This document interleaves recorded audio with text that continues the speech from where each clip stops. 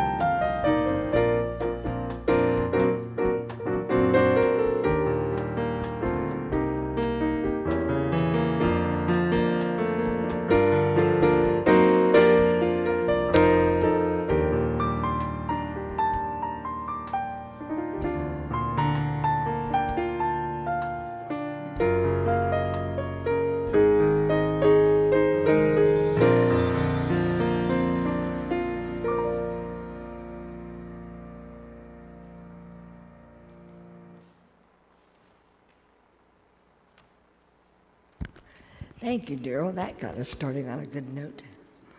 Good morning. I'm Celia Davis, and I'll be the liturgist today. If you're able, would you please stand for the call to worship? Come, take refuge in the Lord, for God is good. From the storms and struggles of life we come. Come, rejoice in the Lord, for God will provide peace for you.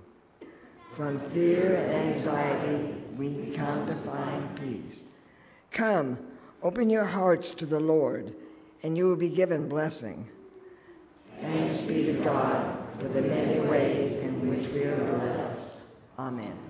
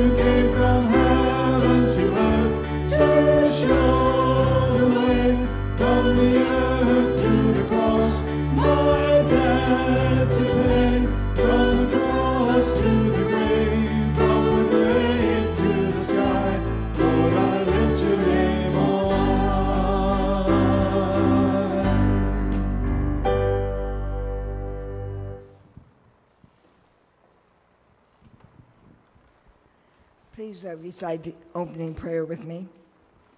Great triune God, through Jesus Christ, we give you praise and consecrate ourselves to follow you. As we worship you and celebrate your glorious resurrection, open our eyes so that we may see. Open the eyes of our mind to learning and understanding Open the eyes of our heart to love and compassion. Open the eyes of our soul to see our spiritual selves during our time of worship.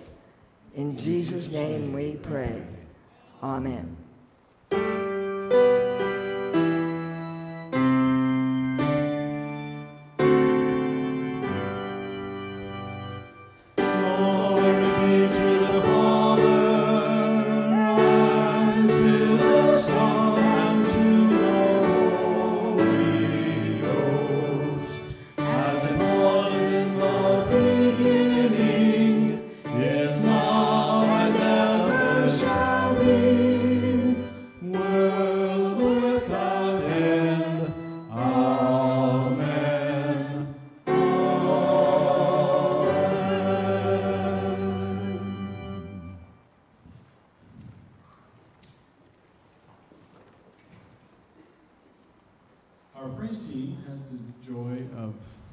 Sorry, not our praise team. That's next week. Our noteworthy team has the joy of our word through music today. We'll be singing Beautiful Savior.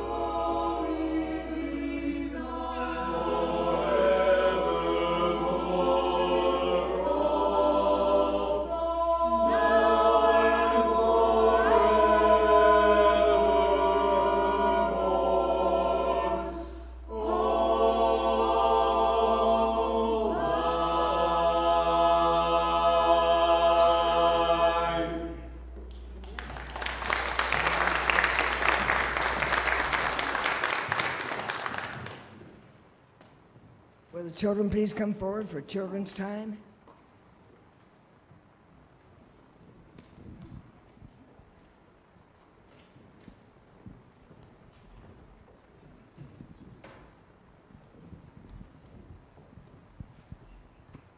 I hope it's talking.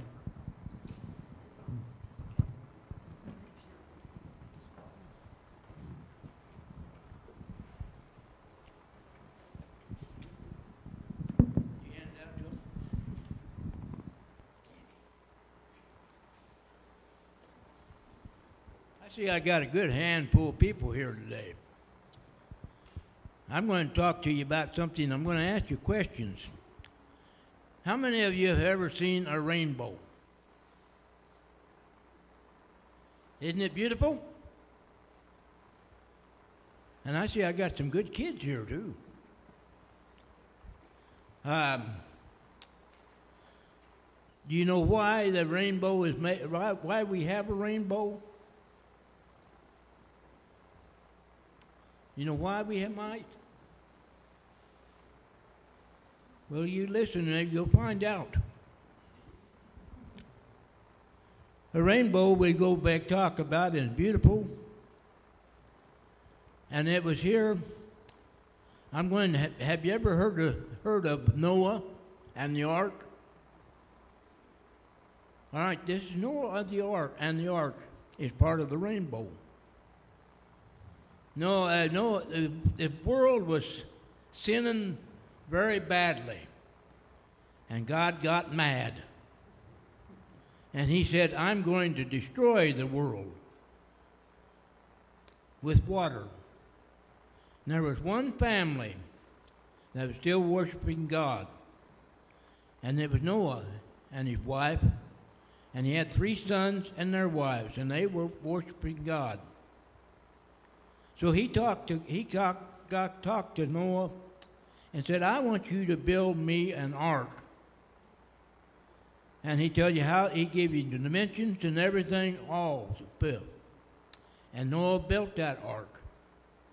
And when the ark was completed, the Lord came down and said, Noah, I want you to get a male and a female of every animal that walks on this earth and all the animals that crawl.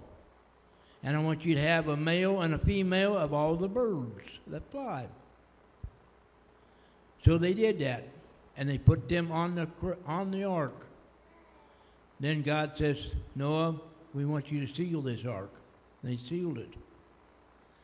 And then the Lord, then the Lord said to Noah, He says, I'm going to have 40 days of rain and 40 nights of rain. And that's a lot of water. That is. So he had this, so they did this. They went aboard the ship, took everything there on, on the ark. And it rained for 40 days and 40 nights. And when it was over with, they started drying down. And if you look behind you, you'll see a rainbow up there. Some people said we may have had a rainbow this morning, but we probably wouldn't have seen it. We'd have to be looking south and west, south and east. But um, we look at it this, this way too. The Lord did this, and then he, they, they was drained, and the Lord took and sent a dove out after a few days. And that dove returned with a leaf. So they knew that that couldn't work again. So he waited a while I don't know how long. Then he set the dove out again. This time the dove did not return. So that meant that they could unload this boat, unload the ark, and they unloaded it. But the Lord was feeling kind of bad about this. And he created a rainbow. And the rainbow is made out of rain. It's, it's the sun shining through raindrops that give it the colors of the rainbow. And he had this made and created for to remind him never to do this again, never have destroyed the earth by flood. So we that's the reason why we have a rainbow. And I want you to remember that. Remember when you see that rainbow, you know that God is looking at you and He's not going to let you get you too much rain. So I think we should pray a prayer. Lord, we thank you for this prayer, these kids. We hope that they learn and understand what I said. And we ask all this in your name. Amen. Now he has, now he has some stuff for you here too. But you guys got some candy. You got some rainbows for you.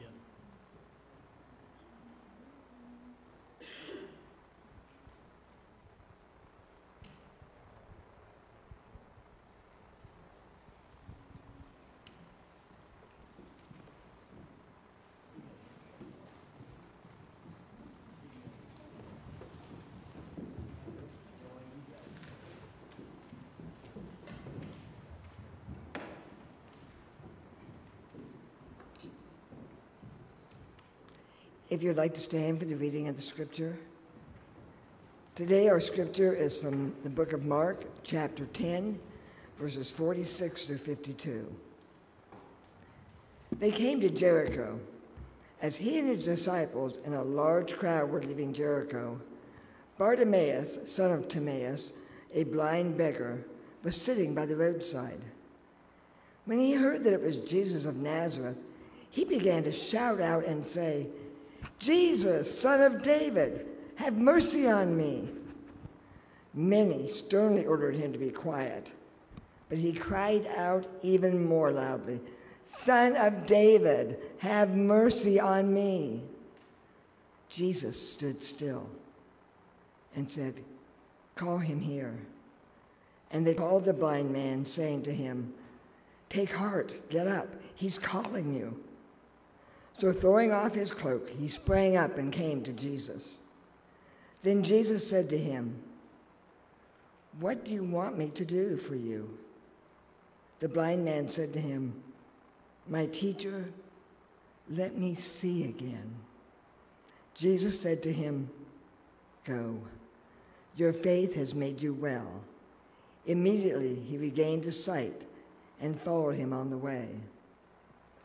This is the word of the Lord. Thanks be to God. Please be seated.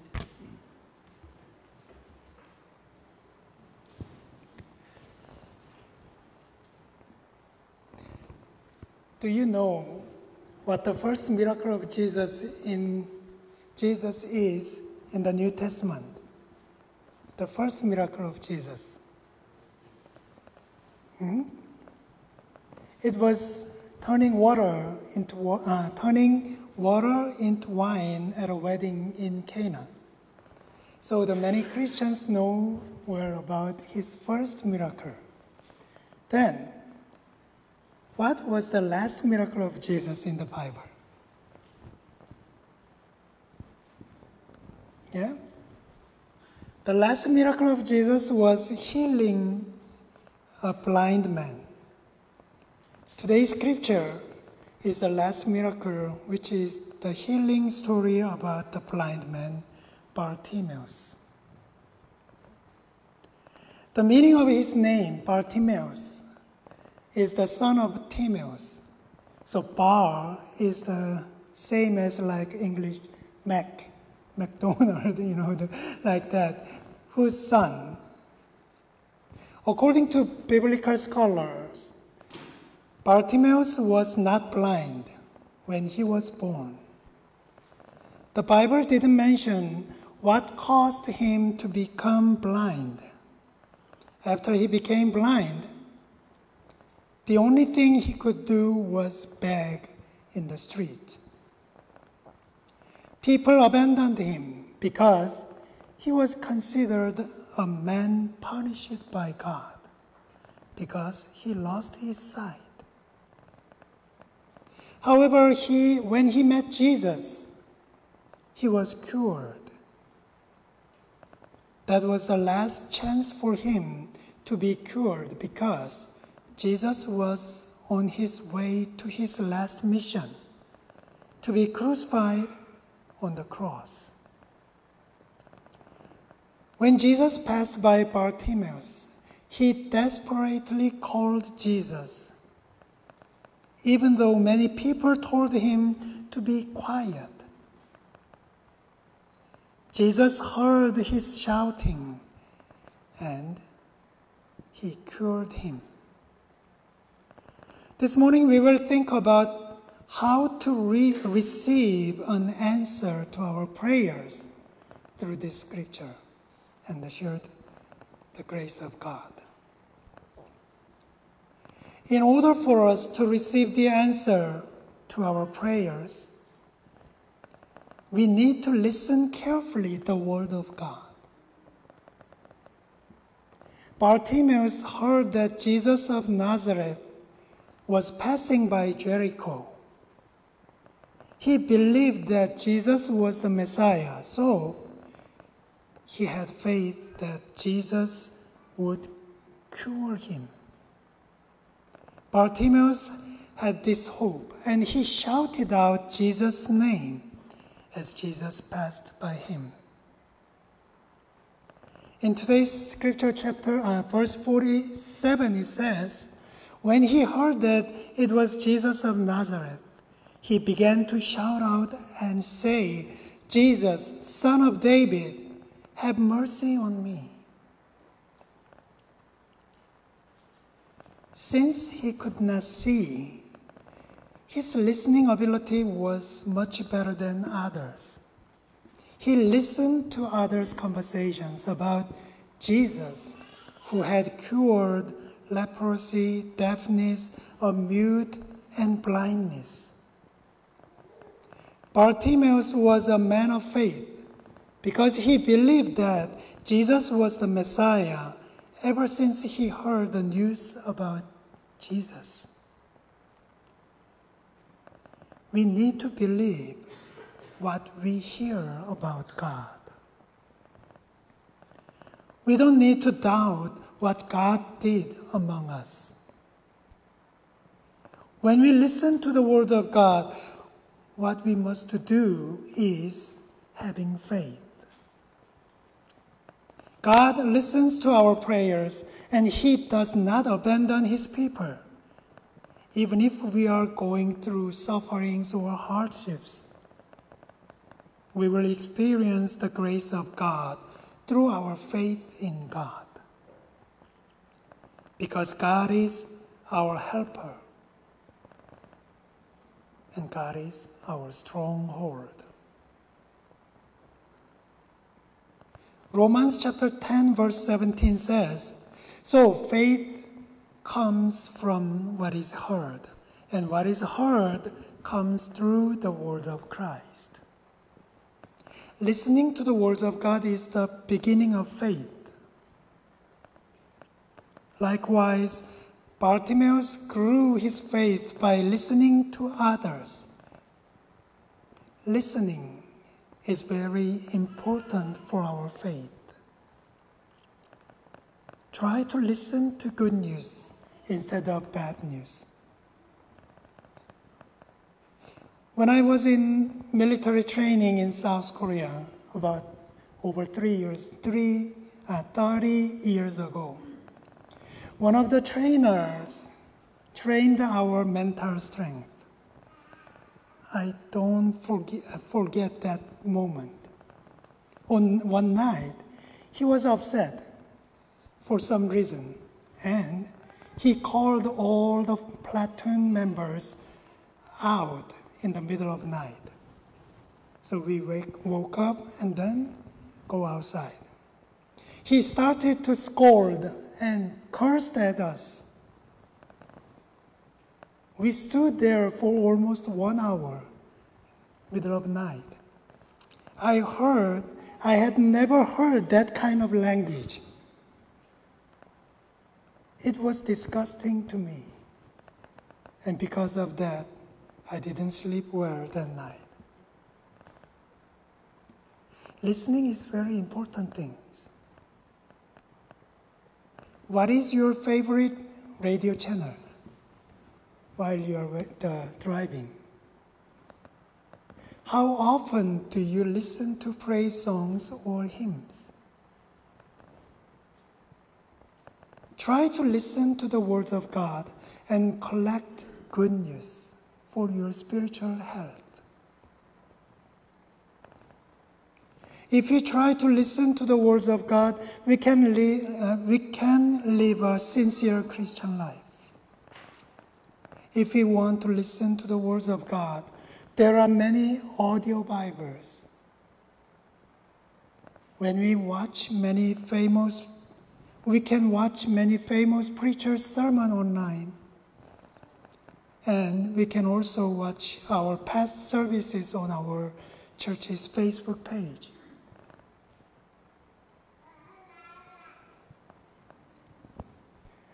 Ever since the pandemic started, many Christians came back to the Lord because there are many chances they can to listen to the words of God. If we want to become godly people, we must try to listen to the words of God. When we show the right attitude of Christians, God will answer our prayer soon. So Bartimaeus listened carefully about Jesus and have had faith that he can cure, he could cure. In order to receive the answer to our prayers, we need to realize our desperation. Bartimaeus called for Jesus as loud as he could. He was desperate because this could have been his last chance to meet Jesus. Instead of carelessly calling out, Bartimaeus showed his desperation when he called out to Jesus. When we call for God, we need to be desperate to find God. Others might stop us and even threaten us. But we need to call for God desperately. However, if we think too much about what others think, we will miss what we are supposed to do. We need to be focused on God and pray desperately. In verse 48, it says, Many sternly ordered him to be quiet, but he cried out even more loudly, Son of David, have mercy on me. Bartimaeus desperately called Jesus. He heard about what Jesus had done, so he called Jesus the Son of David. He believed that Jesus could save him as the Messiah, so he showed his faith in Jesus Christ with a desperate heart.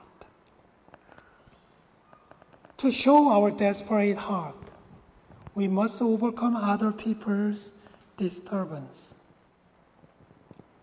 When Bartimaeus called Jesus desperately, others tried to stop him.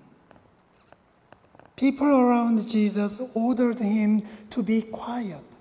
However, his desperation let him overcome the people's obstruction. When we have this desperation, we can receive an answer to our prayers.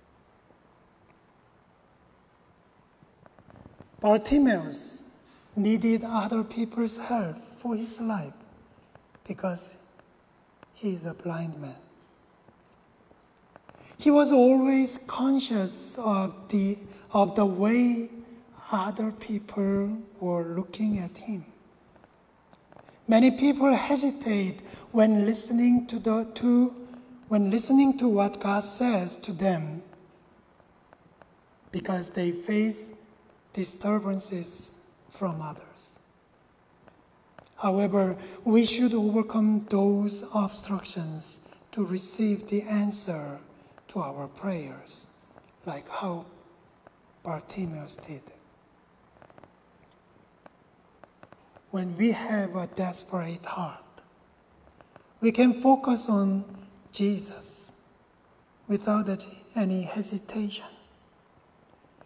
When we pray to God with a desperate heart, God will listen to us and will answer our prayer.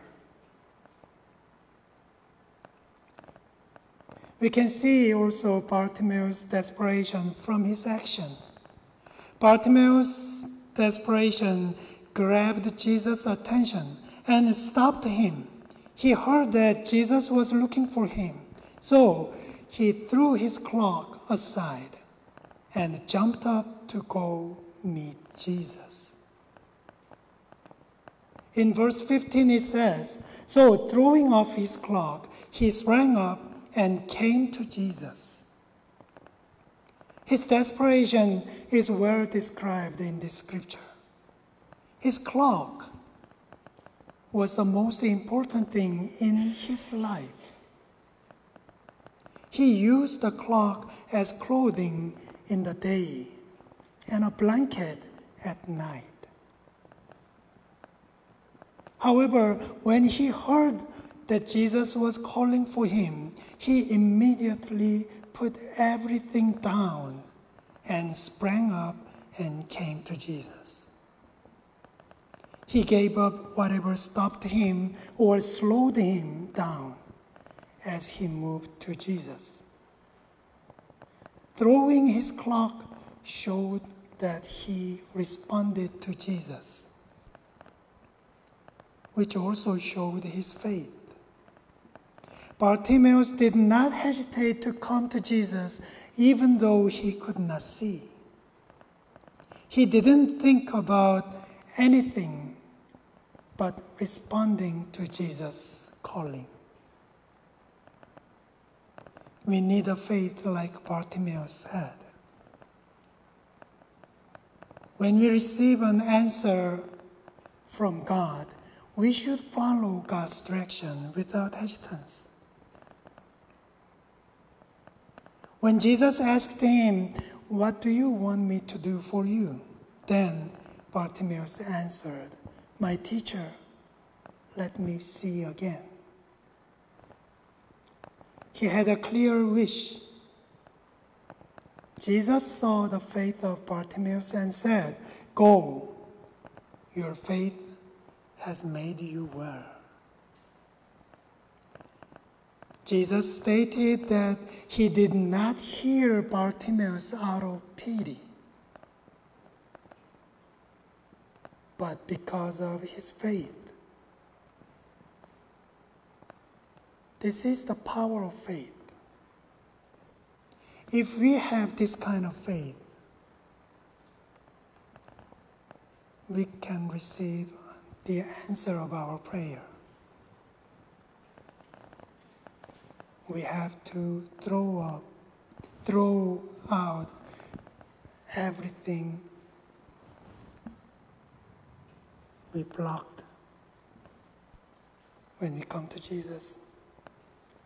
And we should ask for Jesus' mercy. And then we can receive the answer of God. Let us pray.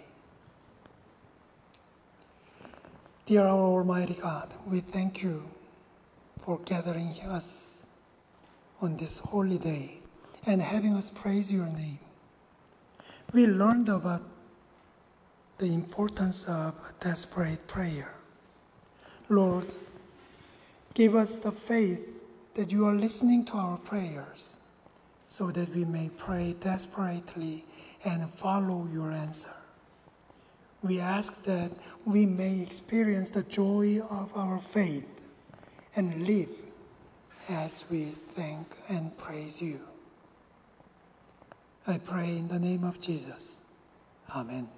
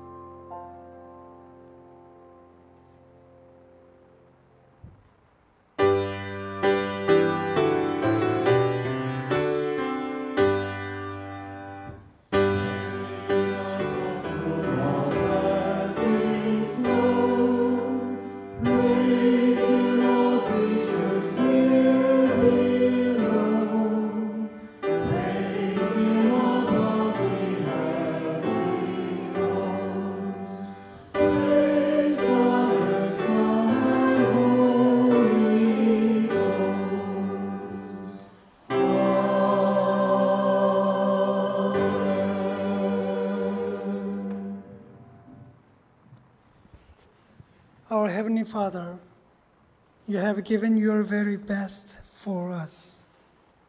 Help us to bring our best to you. Help us to offer to you the best of our time, the best of our thoughts, and the best of our talent.